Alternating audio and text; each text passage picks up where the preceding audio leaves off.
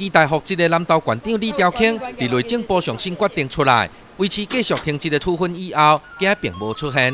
民进党提名县长参选人李文忠回应外界询问时表示，依法是应该复职。国民党南投县党部嘛表示遗憾。依法跟依惯例，李朝清应该复职，但显然这不符合人民的期待。内政部目前这样的决定，比较符合南投人的期待。当然，我们也表达非常遗憾。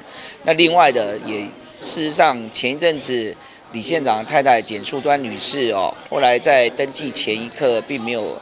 参选哦，外界一直认为说，好像是不是有条件交换？这个部分应该谣言也就不攻自破了。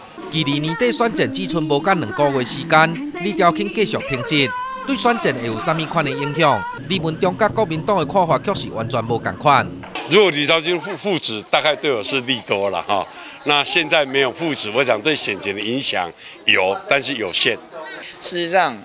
会对选情有做任何的影响，我们也不做多大的评估。那最主要还是候选人自己本身要行走基层，把他的政策理念让百姓能够了解。